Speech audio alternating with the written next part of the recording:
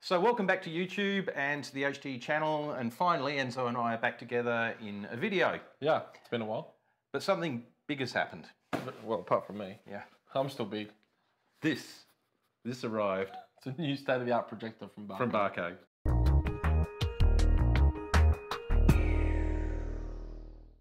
Actually, it, it's only a part of the story. Let's have a look down here. This thing arrived in the mail. This is big. It's big. It's big in every sense, right? Yeah. It's big in size. It's big in weight. It's big. It's Mm. about in, 100 kilos. Yeah, it's it's big in implication and and and image quality and everything else. What is it? It's a Barco Freya. So Barco's DLP um, Flagship. flagship um, Ferrari Rolls Royce. But it's a home theatre projector.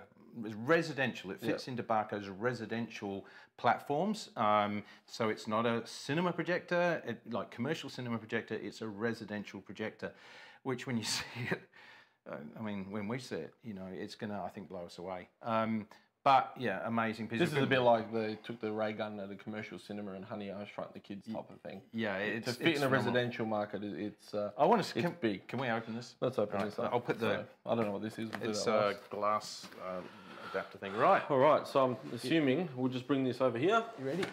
Yeah. Oh, yeah. All Hang on, I right. think well, well, something.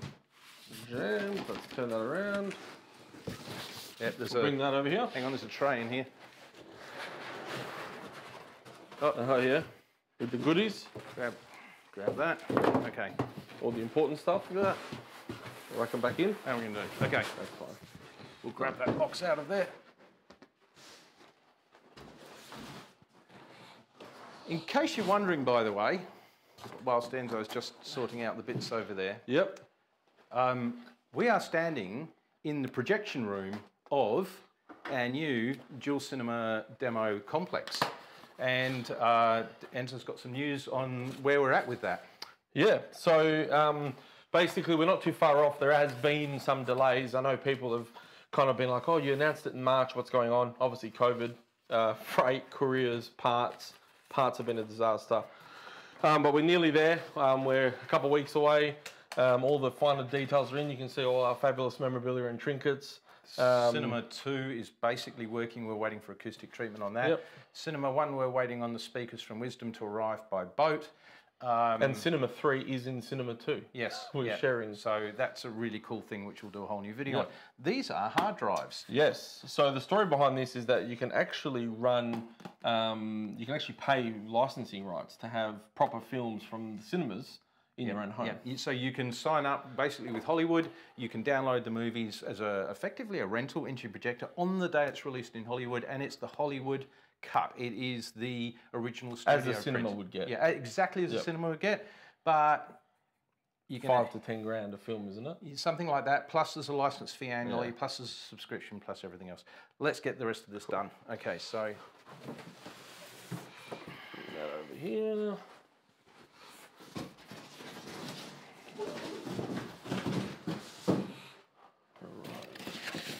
All the bits and bobs.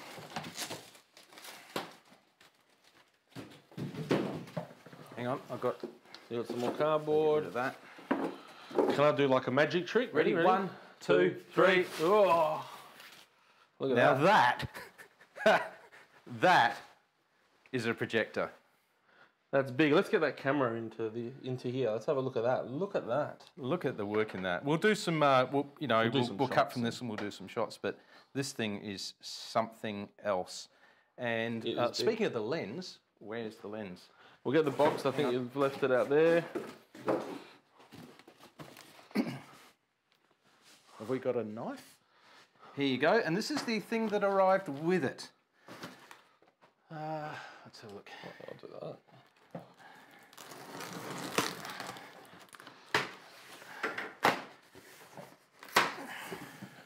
Look at this. Sometimes the picture say, sort of says a thousand words. I think in this case, This doesn't. Yeah. The box does. you, you, got- you got to see this, I can right? imagine. Ready? Ready? One, two, three. That's big. that is huge. Look at that. Oh my god. Is that for the um, for the moon space shuttle? Look at that. What? A, oh, hang on. Is that the second biggest thing you've held in your hand today? Probably. oh my gosh. That it? is Wow, look at that. just. Look at the detail as well. Yeah. I mean, the build quality on these thing is just phenomenal. Any It- it- Barco product is just ridiculous. This thing is just in a league of its own. Do you want to grab that box Yeah. out of the way? So, um, all right, that's the unboxing of the Barco Freya. What's this thing worth? Um, so retail is about 180 to 190 grand Australian? Australian dollars. Yep. Um, so it's expensive. Yep. No doubt about it. But you know, our Cinema One. The reason we went for something like this is our Cinema One is gonna sit around the 800 grand retail. Yep. And I know what a lot of people are gonna go. Oh, that's really far out of reach. It- you know, it's it's just about showing what we can achieve in home cinema and creating a grand experience. Plus. You know, we'd like to rent the space out. Industry people would like to use it as well. It's going to be reference standards, so people who are standard. making films will be able to come here and see films and see their dailies and rushes um, as they would in a cinema. Um, the other thing is, yeah, we wanted to set a benchmark. This is, you know, we're working on this being the best cinema room in the Southern Hemisphere, and we needed this to do it. Obviously, this isn't for everybody. Um, this is your Bugatti Veyron. It is your, you know, Rolls Royce Phantom. Rolls Royce it- it is the creme de la This creme. is the creme de la creme. Um, and it, you know, the, the magic here is it's DCI, it's DCI rated or certified projector, um, and uh, it, it's something else. And the irony is that Barco actually make even bigger ones than this for residential too. So They do, yeah, yeah. Um, but you know, again, I think ever since COVID and the times that where everyone's going through, we're seeing more cinemas shut, Hmm. and we're seeing more people building cinemas at home. A- and there are people out there that demand for a product like this, and I think it's even more now than ever. To be Look, I. I think, and this is an interesting topic, and we're going to shoot a different video on this. But the question is, what is home cinema? and just so weird. just nuts. feels like my son. You know, what we want people to be able to do is to sit Wow. in a room and experience something like they haven't before. I'd like to think that, you know, home home theatre has really become synonymous with a TV and a soundbar. Um, what we're talking about is building cinemas in people's homes. It's what we've been doing for a long time, and uh, this is just this is a stratospheric step into Mm. delivering cinemas for people who want those in their home. Uh, And our, but ca- our catchphrase is always we build Hollywood reference studio cinemas. absolutely, And yeah. this is no, this is This is it. This is it. So This is um. We, we can't wait to see this. So uh, stick around and we'll go through this in a bit more detail and we'll also do some uh, some footage of it when it's installed in place. And there's a bit of a trick to the installation as well, which we'll show you once we get that sorted too. So that's the unboxing of the Barco Freya DCI projector. In, in very impressive. I, I'm blown away. This thing is. And this- just the this thing is detail to it. I mean, what's in there is just you could look at it all day. Yeah, I, I'm crazy. Yeah, it's like it, you know what it's like. It's like lifting the bonnet on a really exclusive vehicle and just going, "Wow!" But Crazy. Well, we're, going to get this onto a bench. We're going to spin it around a bit. So stick around, guys. get some we'll, close-ups. we'll be back in a second. okay, so let's talk a bit more about this amazing projector, the Freya. Um, so Barco has a history of choosing their names from gods. Yes, yeah. Um, Freya is um, Wife the the wife of Odin and, the mother of Balder. Of Balder, yeah. yeah. So obviously, you know, that's where they get their name. Some people have asked us that in the comments. Um, And I think that speaks to you know where they place these power. In, in their architecture as well, and the you know the power and, and the awe uh, of these products, and they are in every sense of the word. You know, we use the word awesome a lot these days, but these things are awe-inspiring. They're amazing. Well, we had um, a chat with the guys at Barco, which you'll see in a video, whether it's before or after this one, um, about you know the one thing they commented on was how impressed they they even were, and they work at Barco, right? Well, they've reduced. What they've done Yeah. is they've taken the cooling system from a much bigger projector and the technology of a much bigger projector, and they've compressed it and designed uh, it into this housing. Now, even though this housing by normal projector standards is big, this is not big by comparison with, say, commercial um, commercial installations. So they've they've been able to, uh, within reason, miniaturize that technology and get it into here. That makes this a very, very, very powerful unit. And in, in terms of power too, The light output on this is such that this is the first projector we've ever had where we have an HSE or a health require, health and safety requirement on installation. We cannot have anyone pass within a metre of the front of this lens at least. In our cinema, we've actually had to design a spot where pe- people cannot go and make sure that they, you know, they can't look into the uh, the lens of this thing. Otherwise, I don't know. You just And we have to we have to actually draw that and send it to Barco to get approved. Yeah. Um, and then obviously pre-COVID, they would come out normally. Barco, someone from Barco Residential Australia will come and check it off as well. Yeah. Um, but obviously once we're finished, we just send photos and measurements and and, And we've still got someone flying over to. We've still got uh, someone coming over from Melbourne, Sydney, but obviously in Australia at the moment, COVID's running a bit wild, so we'll see how that goes. But um, let's talk um, a bit of the the nitty gritty specs. So Yeah. DCI compliant. DCI compliant, so that's the Digital Cinema Initiative. What that means is that this has to meet a certain uh, amount of uh, specifications and criteria so that you can then go to someone like Bel Air Distribution, which we are talking to this week. Uh, we're very excited about that. cool. Uh, we'll be talking to Julian there.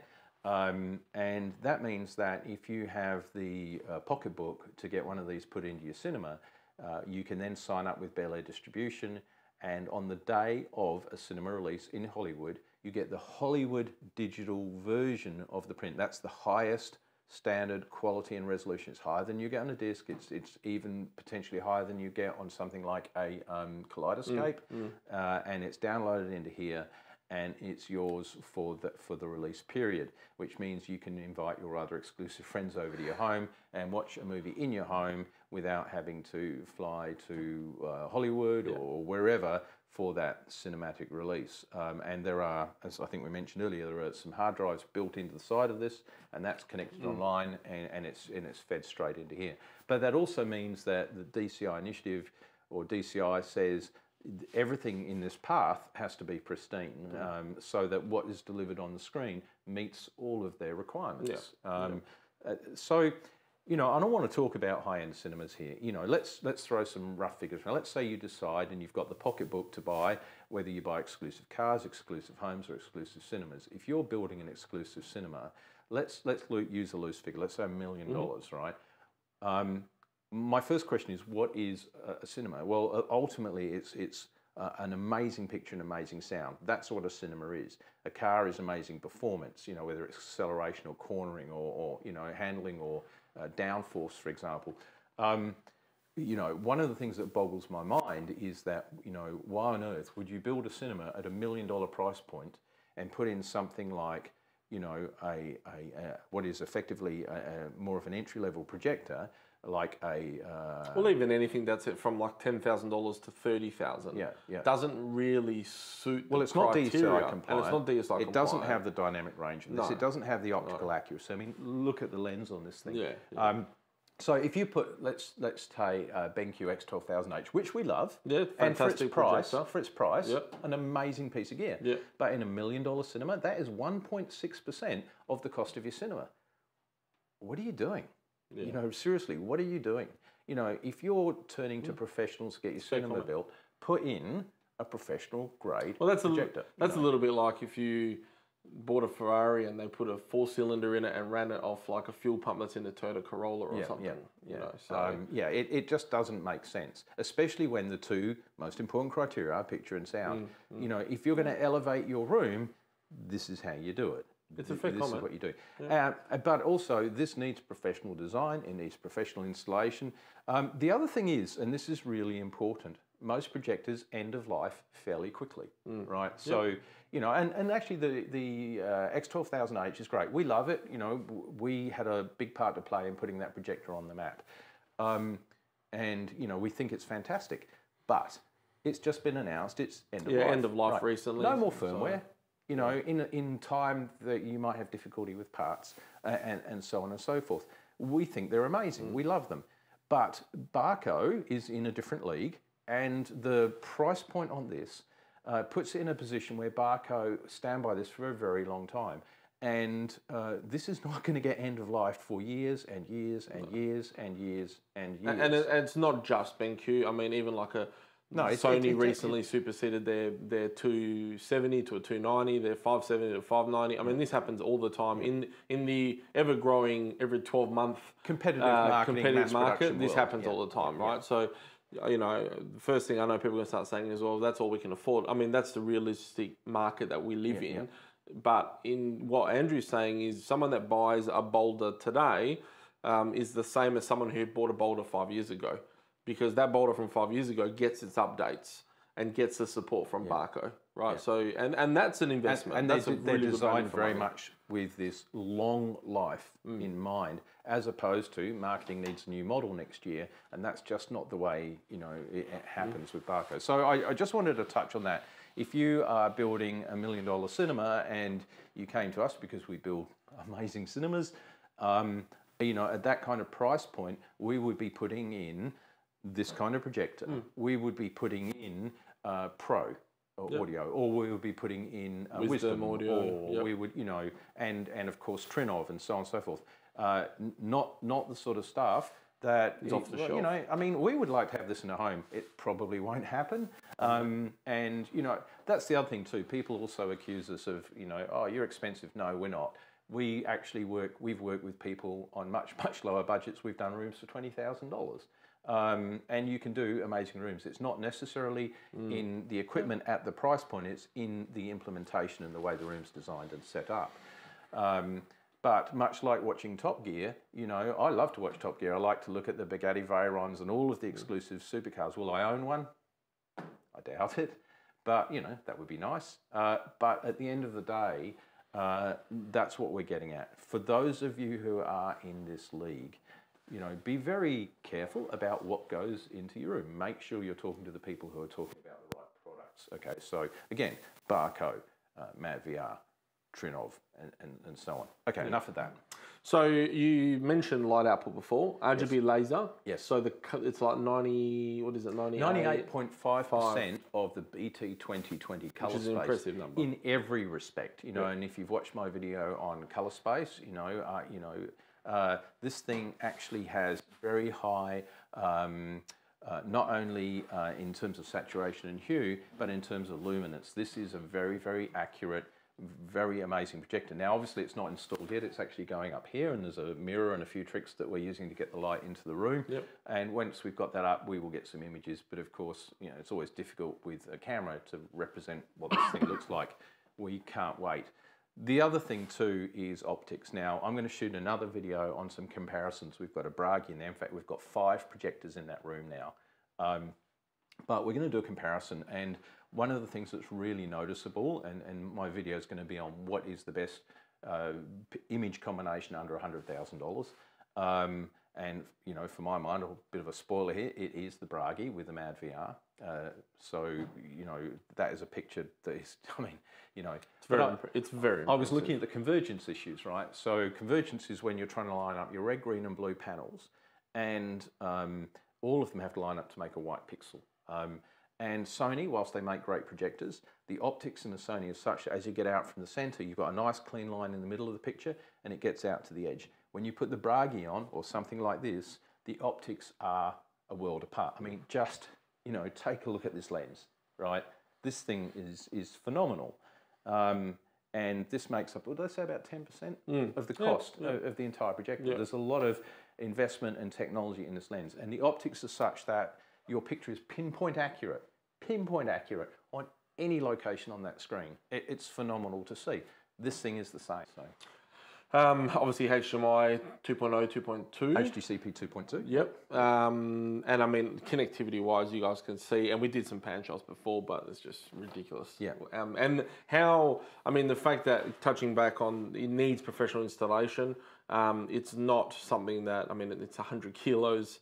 Um, we're going to get up there. Um, you know, it, It doesn't go on a ceiling mount. it doesn't go on the ceiling. Well, not not the ceiling mounts that you'd see on Yeah, your average yeah. projector. But, there um, are there are suspension points on the top Yep. here, by the way. Which have, Um, power handling. This thing has uh, several options. It's 16 amp single phase, um, 240 volts in, in Australia, and uh, there's a three phase um, option as well. So um, you can run this on either power. So in a, in a I guess more slightly sort of a larger cinema installation or If you've got three phase power available, that would make this thing just a bit more efficient. Um, so, so there's that. Um, it's not noisy. I think from memory, it's about 50 dB. Um, it's noisier than your average projector, but look at it. yeah. um, and that's why also it's outside of our cinema and is going through a, uh, a glass portal, um, much like a very real commercial Yeah. cinema. Yep. So, Yep. Um, what else? What have we got? Um, no, look, I mean, I think we touched on a lot of it. Um, we're, you know, we're going to try and get this set up. We're going to get a, another video, obviously, showing once it's set up. We have to, a bit of trickery trying to get it into the room. Um, but look, I mean, just the the sheer quality, the build quality. I mean, that lens alone is It's just so so I- heavy, but at the same time, it just looks and feels like a million bucks. It's just yeah, they put a lot of effort. And you know the thing is with the lenses on Barco, if you do move house for some reason, and the new owner doesn't want the cinema. You can move the projectors to another room, and all you have to do is change change, the the lens. I think we've said this before. So, you know, if it's a bigger room, you change the lens. If it's a smaller room, you change the lens. So, but the lens actually have quite a good um, um, shift. Right, So, it's a decent range, and the shift the shift is ridiculous. like fifty-five percent or Yeah, something. yeah. It's you know, Um, which is a well, lot. The Barco, uh, Barco Bragi in our um, cinema The two room, yep. uh, is the highest um, projector in the room. It's got a lot of shift on it, and Mm. the picture is still absolutely pin sharp. I mean, and that's the sort of thing that you're getting for your money. Um, so the other thing is very quickly, access on this unit is incredible. The panels do come off and on really easily, so just like that and back, and so you've got very quick access to anywhere on here should you need to. Uh, Pulse platform. Andrew's the expert on Pulse Th- platform. this is not Pulse. no. No, so the Bragi um, and most of the um, non-DCI projectors run on a Pulse platform. This has a different user interface. Again, it, it tends more towards a commercial cinema kind of thing, um, but that's all part of the DCI compliance. DCI compliance doesn't allow it to have things like the warp engine, which is built into the Bragis and the Balders and so on and so forth. having to manipulate Yeah, imaging. this is a pure cinema projector. The Balders and the Bragis um, are designed for multiple use. You can use them for modern art. Um, you can wrap the image around things. You can distort the image. You can fire the image off at 45 degrees, basically. And we've done that. You know, it's quite incredible. If you have an awkward installation, a, a uh, Barco projector with the Pulse platform and their, their warp engine is, is what you need. Um, DCI says no, this thing has to be just cinema, that's it, nothing else, that's what it does. And it does it phenomenally well. It's a bit like asking your um, Bugatti Veyron to be, you know, a better off-road than a Mercedes G-Wagon. So, you know, they're, they're not the same. Um, before we spoke about light output, it's about seven and a half thousand, Yep. which is a, which is a light cannon. And being, um, um, some people always ask about the lumens, like 2000 lumens, for instance, in a globe projector is very different to 2000 lumens in a laser projector. Yeah, and again, we won't dwell on that, but that's got to do with the um, uh, luminance of each of the primary colours. Um, and again, we've got videos on that, so uh, that way we don't have to talk about that. But yeah, light cannon. Yeah, this is amazing. So, look, um, what can we say? We'll have this thing installed. We'll Yep. have some photos of it once it's installed, and we'll shoot another video of the room with this thing up and running. Um, but we are very, very excited. We would also like to say thank you to um, Peter and Claver, to Andy and Bart at um, Barco Residential. Barco Residential. Um, the support, the you know, uh, everything that we've received from them has been fantastic. Um, their technical guys are brilliant. Um, they help us make sure that we do this perfectly, and that's you know part of what we do. But we can't do it without them. And uh, in Australia, with uh, Peter and Claver behind us, you know this thing is unstoppable. Um, so look, we, we appreciate, you know, th- hopefully you see this, uh, for those of you who, who can't afford this, and let, let's be fair, you know, that's a lot of us.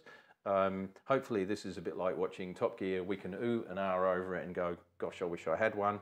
Um, and for those of you who are the sort of people who are going to build that kind of cinema, then give us a call and we will get our teams, you know, ourselves, uh, Barco, Wisdom, Pro, Trinnov, they all come together to deliver the ultimate in picture and sound directly from Hollywood, straight into your home, exclusively for you and your friends. That's it, guys. So we'll be back soon, and uh, bear with us. It's been a very intense Oh, and, few and, months. and sorry, and and Bel Air, of course. Oh, and Bel Air, of course. Um, it's been a you know intense couple months with some delays and bits and bobs, but you know this this is nearly finished, and we'll be back and we'll be a lot more regular on YouTube. So uh, thank you very much again, Andrew. Appreciate it. always. Yeah, we're looking forward to it. And, uh, you know, to all of you out there, thank you. And look, please, if you could help us out, if you're enjoying our videos, please make a point of hitting the subscribe button. That's really important for us. Um, without the subscriptions, um, you know, we have to judge whether or not it's worth doing YouTube videos. They take a lot of our time up. Um, they're, you know, it's, it's time consuming to produce and to get out there. And if we don't get any subscribers, we don't know if you're enjoying them. So, you know, do us a favor, tell your friends, punch that subscribe button, do it now, get the notifications. We then know that people want to see this stuff and we'll keep going. If not, then we're busy with other stuff and, you know, we'd have to give that some thought. Yeah. No. Thank you very, Thank you very very much. See you soon.